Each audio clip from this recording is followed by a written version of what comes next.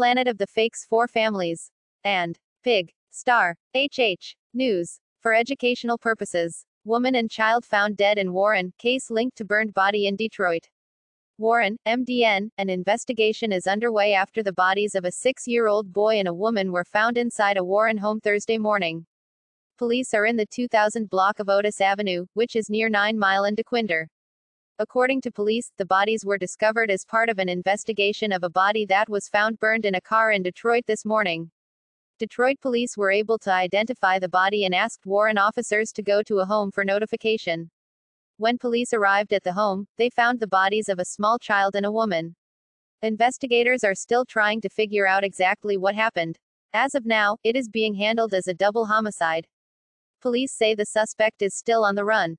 Warren, MI October 1, 2020, Warren police are investigating after two people, including a six-year-old boy, were found dead, shot to death, execution style, inside a home Thursday morning. It appears to be a targeted hit. Investigators say the tragedy is linked to the murder of the boy's father, found dead in a burned-up car on Detroit's east side early Thursday morning.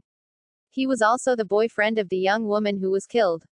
Detroit police say just hours before, the body of the boy's father 31-year-old Tukuyo Moore, was found in Detroit in the back of a burned-up rental car.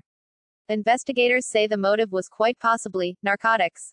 If we bring the federal authorities in, we may be asking for the death penalty, said Warren Police Commissioner Bill Dwyer. If you have any information on this case, call Warren Police or to remain anonymous, call Crime Stoppers at 1-800-SPEAK-UP. Hashtag Black Femicide. Isis Rimson, 28. Hashtag Dear Warren, MI October 1, 2020. Warren police are investigating after me and my stepson, who is a six year old boy, were found dead, shot to death, execution style, inside a home Thursday morning.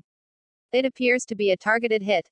Investigators say our tragedy is linked to the murder of the boy's father, who was found dead in a burned up car on Detroit's east side early Thursday morning. He was also my boyfriend at the time of my death. Detroit police say just hours before our murder, the body of the boy's father, my boyfriend 31-year-old Tukuyo Moore, was found in Detroit in the back of a burned-up rental car. Investigators say the motive was quite possibly, narcotics. If we bring the federal authorities in, we may be asking for the death penalty, said Warren Police Commissioner Bill Dwyer. If you have any information on this case, call Warren Police or to remain anonymous, call Crime Stoppers at 1-800-SPEAK-UP. Please keep our families in your prayers. Dear humans our mains are. Isis Rimson, 28. Tai'raz Moore, 7. Rest well beautiful. Rest well young prince. Hashtag Dear Humansoph Warren, MI October 2, 2020. My mother hasn't slept and can barely speak after so many tears and gut-wrenching pain. Brittany Thompson is her name and I am her six-year-old son, Tyre as Asmore. I was brutally killed, execution style.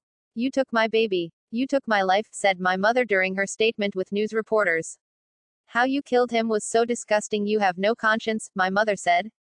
Warren police are working with Detroit police calling the act truly evil. Warren police discovered my body and my father's 28 year old girlfriend Isis Rimson in the basement of our home on Otis Street Thursday morning. I pray that you weren't scared when it happened, my mother said. I hope you weren't scared. And I want you to know I'm sorry that I wasn't there to protect you. Detroit police say just hours before, our malice murder the body of my father 31-year-old Tukuyo Moore, was found in Detroit in the back of a burned-up rental car. Investigators say the motive was quite possibly, narcotics. If we bring the federal authorities in, we may be asking for the death penalty, said Warren Police Commissioner Bill Dwyer. As police are aggressively trying to hunt down the person or persons responsible, my family during an interview shared some memories of me like how I just turned six in July, I was vibrant, I was outgoing, I was curious, and protective of my mom and my three sisters, and very mature for my age. Those were a few things my family expressed. I was like, oh my goodness, you gave birth to a man, said Maury Thompson, my grandmother. He just took on that persona. Like he was this little old soul. I enjoyed school, had a favorite teacher, and also loved animals, singing, and dancing. Everyone in the community is just heartbroken, said my grandmother. My mother last conversation with me was about my first loose tooth that I planned to lose the next day. His tomorrow never came, said my mother. Now my family that's barely able to breathe without feeling overwhelming pain, has started a GoFundMe page to give me a proper goodbye and praying my killer, or killers, are found. Web links. I want you to live a long time and I want you to suffer, my mother said in a message to whoever is responsible. death is too easy. If you have any information on this case, call Warren Police or to remain anonymous, call Crime Stoppers at 1 800 Speak Up. Please keep my family in your prayers. Hashtag Dear Humans Our names are Tai'raz Moore, 7. Isis Rimson, 28. Rest well, young prince. Rest well, beautiful. Thank you very